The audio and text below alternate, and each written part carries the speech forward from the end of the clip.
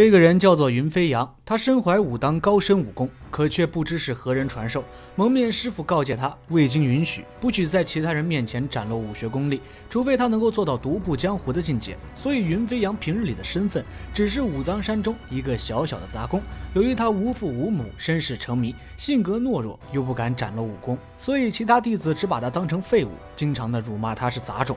云飞扬不仅承担了山中所有的脏活累活，甚至在其他弟子练功的时候。还要他充当活靶子来练飞镖。这一天，云飞扬被飞镖射中，遍体鳞伤，自尊心受到了侮辱。云飞扬开始向大家发泄不满，结果却遭到了师兄弟们的群殴。躺在地上的云飞扬谨记蒙面师傅的话，宁可受辱，也绝不敢展露身手。看到师兄弟们欺人太甚，小师妹忍无可忍，出面救下云飞扬。并且带着他去找执法堂的两位师叔评理，可是这两位师叔生性势力懒惰，实为两个庸人，哪里会为一个下等杂工主持公道？不仅狗眼看人低，不分青红皂白就给云飞扬定了罪，还当着所有师兄弟的面把云飞扬狠狠地训斥了一顿，并罚他每天为山上挑水五十桶，还要挑满整整一个月。云飞扬哑巴吃黄连，有口说不出，只能无奈认命，接受惩罚。就在此时，无敌门的弟子公孙弘手持兵刃，大摇大摆地踏入了武。当山。众弟子见他来者不善，而且武当祖师张三丰曾经有明文条例，无论任何人都不许携带兵器上山，所以将他团团围住，要求他放下兵刃。但他本就是来找茬的，自然不会遵从。于是，一场激战一触即发。公孙弘武功高强，武当众弟子全都不是他的对手，就连小师妹都差点伤在他的剑下。公孙弘一路杀到武当大殿外，假仁假义的要见武当掌门青松，表示自己受师傅所托，要送武当掌门一件礼物。随后抛掏出一个小盒子，打开后里面竟是一个红肚兜。公孙侯告诉青松，武当与无敌门十年之战日期已经临近，他的师傅独孤无敌怕武当不敢应战，特意送来这份礼物。如果青松真的不敢参加本次比武，可以现在就解散武当派，穿着这件红肚兜离开武当山。倘若如此，便可饶他一命。青松听后单手一甩，将盒子丢还给公孙弘，并告诉他自己一定会赴十年之约。公孙弘听后轻蔑一笑。随即转身准备离开武当大殿，而此时武当掌门突然发力，腾空跃起，飞到公孙弘面前，还没等他反应，就一把夺走了他的兵器，然后又跃回了掌门宝座上。公孙弘被这次缴械吓得不轻，轻松告诉他：武当规矩千百年来无人敢不遵守，今日缴械只是小惩大戒，让他速速离去，不要再生事端。公孙弘走后。掌门独自找到了自己的师兄，想排解心中愁苦。因为江湖中的最高决战每十年开启一次，二十年前他曾败给过独孤无敌，十年前也败给过独孤无敌，所以这一次轻松也是真的没有获胜的把握。师兄听后宽慰轻松，说他的两仪剑法现已到了出神入化的地步，只要独孤无敌的灭绝魔功练到了第七重以下，武当就能够取胜，并且劝诫师弟不要心存顾虑。高手之间的对决，若是未战先怯，则必败无疑。随后，轻松祭拜了祖师，骑上马准备前去迎战。而走到武当山脚下时，偶遇正在挑水的云飞扬。云飞扬也表达了对掌门的祝福。掌门看着他，默默无语。其实，影片在这里已经表达了掌门对云飞扬的特别情感。武当掌门和独孤无敌十年之约定在了九月初九。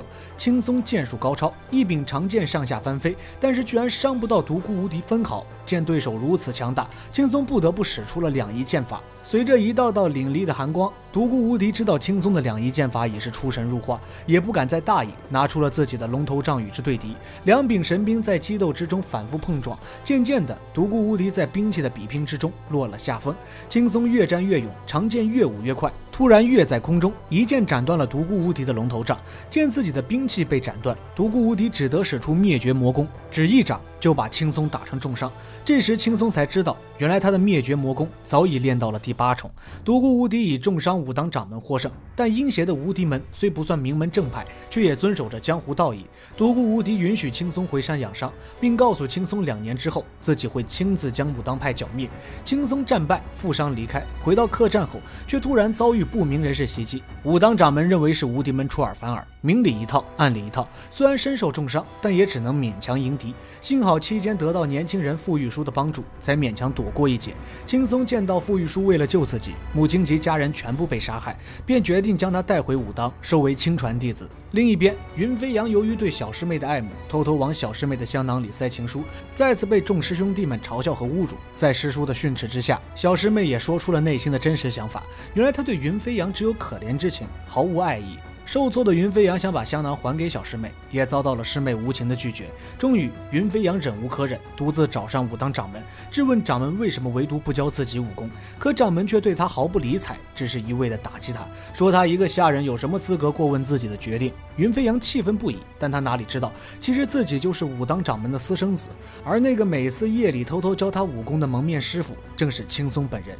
数日之后，公孙弘再度来到武当山，这次上山只为了说清一件事，就是那天比武之后围杀武当掌门的事情，根本就不是无敌门所为。而且经过他们的调查，傅玉书的母亲和妹妹都是从青楼随便买出来的女子。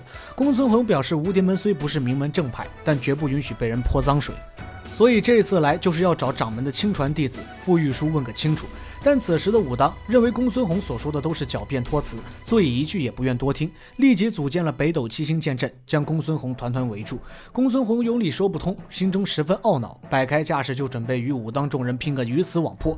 云飞扬在一旁看出这其中事有蹊跷，于是遮掩了面容，冲入剑阵之中，破了北斗七星阵，将公孙弘救走。公孙弘这样一闹，傅玉书知道自己的身份即将暴露，于是只好提前对武当掌门下手。原来这傅玉书的爷爷就是逍遥。谷的主人也是武当派的死对头，他此次设计这个局，就是为了偷学武当武功，想报仇。云飞扬赶到之时，武当掌门已经遇刺，轻松握住云飞扬的手，告诉他自己就是他师傅的事。随后拿出了一块玉佩，让他去无敌门交给一个叫沈曼玉的人。说罢便昏死过去。当云飞扬正抱着掌门尸体发懵的时候，傅玉书率领着众人赶到现场，然后将刺杀掌门的事情嫁祸给了云飞扬。武当众弟子被傅玉书煽动，准备将他就地正法。此时的云飞扬走投无路，被逼无奈，只好暴露了自己的身手，逃出了武当山。逃亡中的云飞扬被武当弟子一路追杀，途中刚好碰上公孙弘的师妹。师妹念起云飞扬对他有救命之恩，立刻以无敌门的身份邀请云飞扬到无敌门避难。云飞扬想到自己刚好需要去无敌门找沈曼玉，于是便接受了邀请。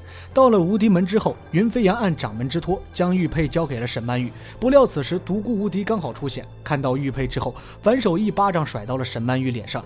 原来当年独孤无敌为了练就灭绝魔功，早已丧失男性能力，无法生育。而这些年只顾四处征战的他，对沈曼玉十分的冷落。沈曼玉对此愤愤不平，心有不甘，于是为了报复独孤无敌，将二十年前重伤的武当掌门救下，并暗自料理。两人也渐渐的日久生情。而云飞扬，也就是武当掌门和沈曼玉的私生子。独孤无敌说完，就要把云飞扬置于死地。曾经轻松给他戴了绿帽子，如今父债子偿，倒也公平。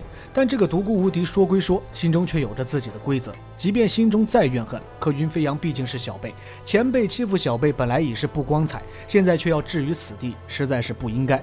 于是独孤无敌手下留情，只是废了他二十年的武功修为，放了云飞扬一条活路。沈曼玉赶紧将云飞扬带去医治，并将独孤无敌的魔功从他身上逼除。云飞扬刚刚清醒，武当的小师妹就赶了过来。原来青松死后，傅玉书如今已经做到了武当掌门。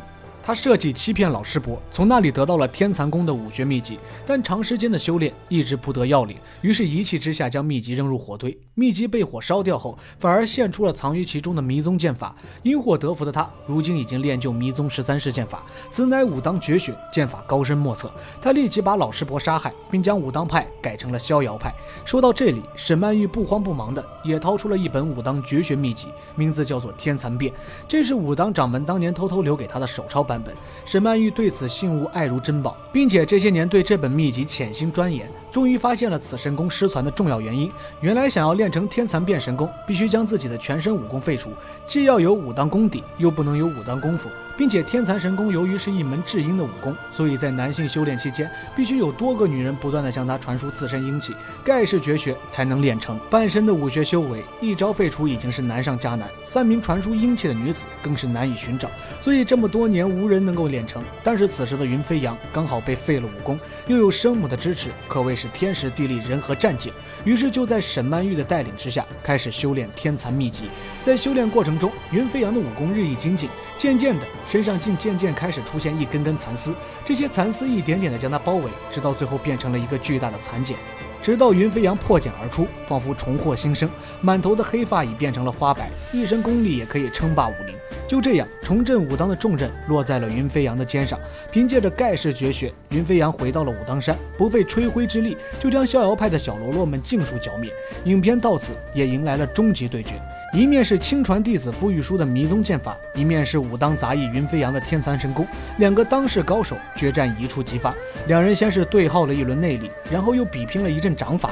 傅玉书见讨不到便宜，随即使出了迷踪剑法。这迷踪剑果然威猛，就连天蚕神功护体的云飞扬，也在无数道剑光之下被击伤。可剑法虽然精妙，但在绝学天蚕变面前，还是不值一提。最终，傅玉书被云飞扬困到了蚕茧之中，让其剑法无法施展。而云飞扬的内力掌法已登峰造极，在蚕茧之中将傅玉书击杀，逍遥派从此寂灭，武当也得以重生。而此时的云飞扬虽身怀绝世武功，却无心称霸武林，于是选择退隐江湖。临走之前，他将香囊还给了小师妹，一个人四海为家，浪迹天涯。影片说到这里就结束了。这是一部三十年前的经典香港武侠动作片，上映于一九八三年九月，是由鲁俊谷导演，徐少强、万梓良等一众影星主演。江湖中所谓的邪派能遵守道义，而那些所谓的正派坚守自盗，下流无耻，背信弃义。到底谁才是真正的正派？